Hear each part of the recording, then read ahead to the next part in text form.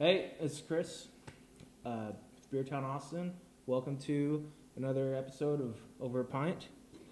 I'm here with uh, Black Star Co-op in their offices. Um, here's Steve Yarak, the founder. Uh, Karrine Thornblom, she's a build-out manager, and Jeff Young, the brewer. Cheers, guys. Cheers. Cheers. Yeah. Look at that baby glasses. Or we have huge hands.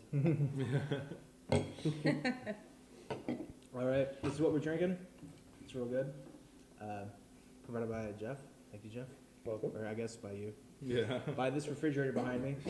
so, uh, on to some content. Hey, uh, yeah, Steve, you want to tell me a little bit about the history of Black Star?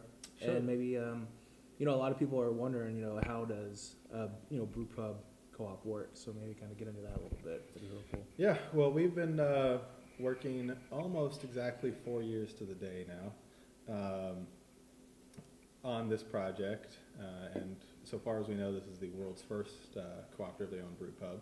We started um, on January 18th in 2006 with Mhm. a meeting. And that meeting was called by me. My idea was to have a, a beer bar that was owned by the regulars. Mm-hmm. Uh, that was kind of just as far as I'd really gotten with the vision. And then at that first meeting, Jeff showed up, and um, and another Smash guy, right in heaven. another guy who was uh, eyes met. The stars from. Sorry. hold on. well, I was only a third of it there. Okay. the other third was uh, Johnny Livesey, who was uh, on the board at Wheatsville Co-op. Mhm. And so I, I said, hey, here's this idea I have for a bar that's owned by the regulars. And um, John, uh, Jeff was like, well, you know, we really should be more than just a bar. It should be a, a brew pub. Oh, and by the way, I'm Which a specially trained idea. brewer. Yeah. uh, Mhm.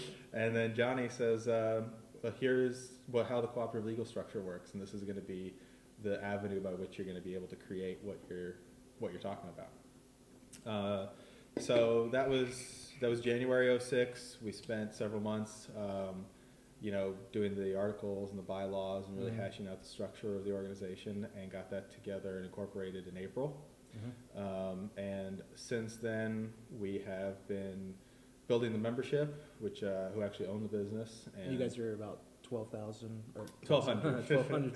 twelve thousand one day, but uh, yeah, just over uh, about twelve fifty, just over twelve fifty Okay. right now. And each of those people all have one share of the business essentially. These are member owners, right? Member owners. That's Okay. yeah. We uh, we try to try to always put those two together. Right. Um, and so we've been building that over the time period, and we've spent a long time looking for our location. Mhm. Um, and I'm happy to say that we've had both of those things come together.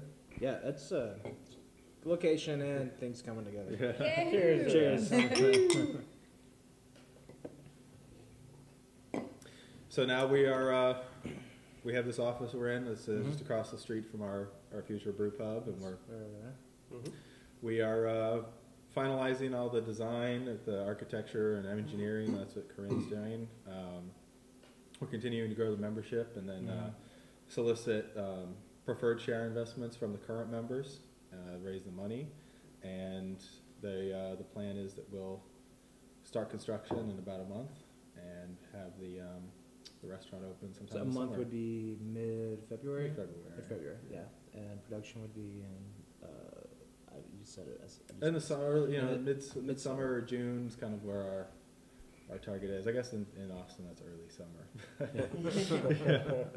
Be 100 degrees in October. Yeah, all right. Um, I think the other thing a lot of people are wondering about is the actual beer. And um, well, first, why don't you start out telling us why we're drinking this right now instead of the Black Star beer, and then maybe go into a little bit about. Yeah, well, naturally, since we are not licensed as a brew pub yet, um, we cannot uh, legally produce any of our own beers.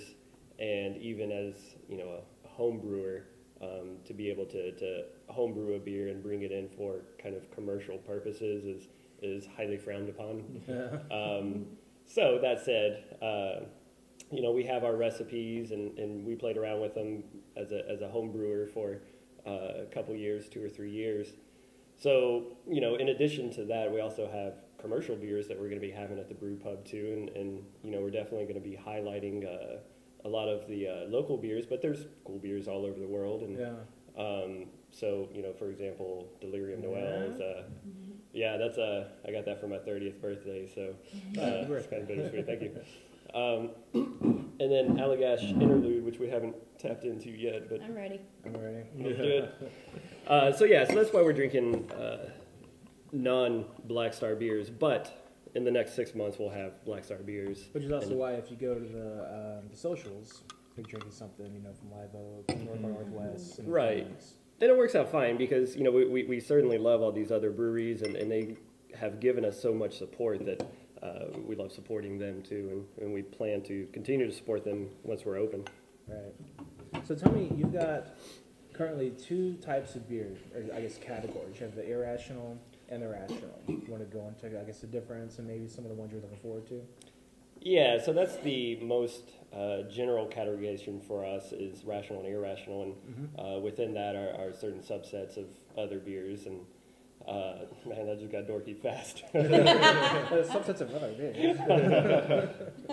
uh, so yeah, I was a math major in, in college, and uh, I still like to uh, whip out some math when I can. Yeah, dork it up a little bit. Dabble in it. Uh, so the rational beers um, are basically the ones, and I think Stephen probably put it best, that they, they can be constructed by um, known ingredients, and, and the product of that construction is uh, almost expected. You know, it, it- it's uh, you, you put in some molasses, you put in some roasted malt, uh, and, and some English style hops, and then you get recalcitrant dockhand. So it's that's the kind of rationality um, behind that set as opposed to the irrational set where there's usually kind of like an X factor. You know, there's something that you put in there and it's kind of has a, a, a life of its own and, and becomes a little more interesting because it's maybe always a little bit different or, you know, just has some different characteristic about that. And then, you know, in addition to that, we're going to have subsets of those where, um, like for example, the Infinite series are, are uh, uh, oak barrel aged beers. You know, so on special occasions we'll we'll get some oak barrels and Oh, put some exciting. different beers in it. Yeah, Yeah. and you know that will that's uh, the Infinite series. Uh, what's the joke for that one? The uh, the Infinite series they always converge on deliciousness. yeah. Uh, it's good. That's Good. cool. That And you guys are going to be pairing beer with food, and then because it's brew pub. And, um, Mhm. Yeah, so we have um, uh, we have a full kitchen, and we'll be serving in both um, lunch and dinner, and then weekends we'll have brunch service as well. mhm. And uh, the kitchen menu is going to be mostly on the mimicking the rational irrational split. So all our stuff that's kind of year round and um, relatively standard ingredients will be our, our rational series. And uh, while we're going to try to highlight local producers as much as possible, we're going to have the real seasonal one-off kinds of items, entrees that will be our irrational menus.